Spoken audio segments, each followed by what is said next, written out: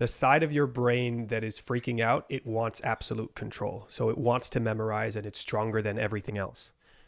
So if you don't change your environment in a way where it doesn't have that opportunity, it's going to do it.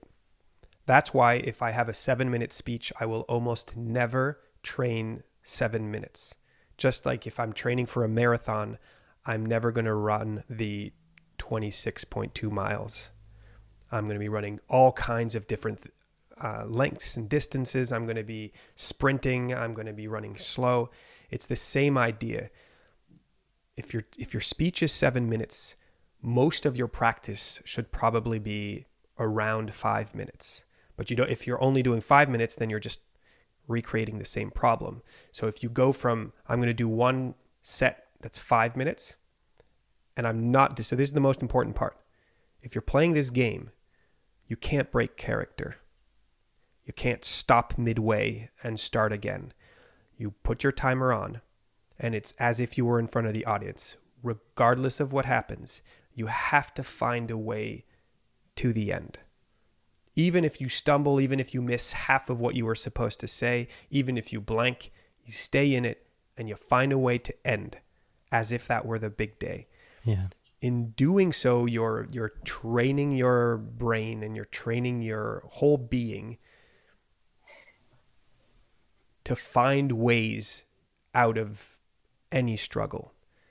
And you're training in a dynamic non-structured way which means that your your brain is not resting on a certain sequence of words for confidence.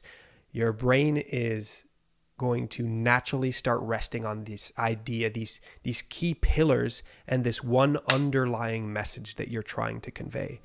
So it's it's like getting lost in the woods with a compass.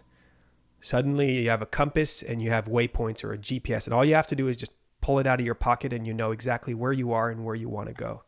Yeah. That's what playing with time does. I, I, imagine you're you're tasked with telling the story of the tortoise and the hare and you have five minutes. Well, then maybe you'd say, This is the story of the tortoise and the hare. And um, once upon a time, it was a beautiful sunny day, and the, the tortoise wakes up and has his coffee, and then the hare, appro- and you get in all this rich detail, right?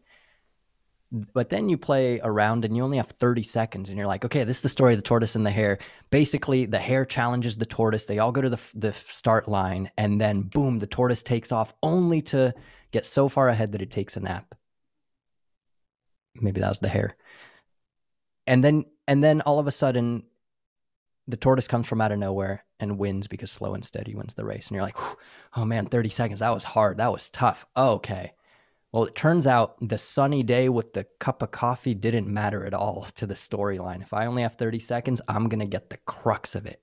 And if you can get the crux of your story, the crux of your narrative, then it doesn't matter how many times you blank or fumble or which parts you forget. You always have that compass that Tristan's talking about. You always know where to go next. And if you don't simplify your presentation to that 30 second essence of I need to touch on this, this, this, this, this, then you really don't have the clarity of knowing your roadmap.